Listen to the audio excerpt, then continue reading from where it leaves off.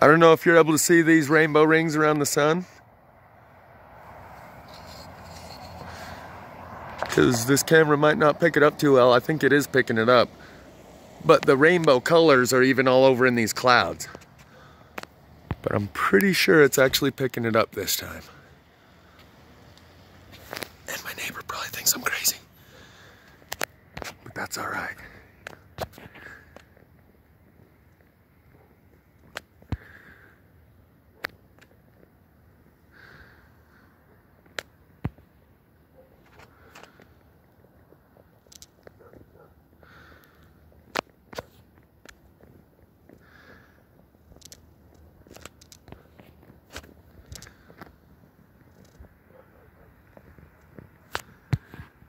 Muon particle radiation.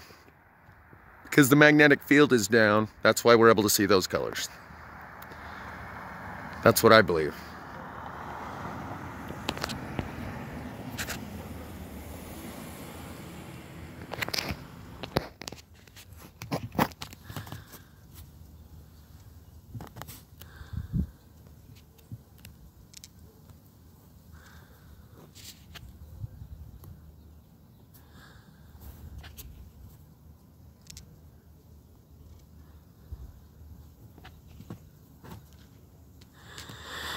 But like the like the chemtrails, it's becoming so normalized.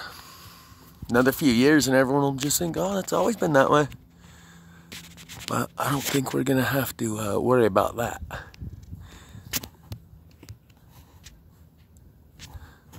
And by that, I mean we ain't got another few years.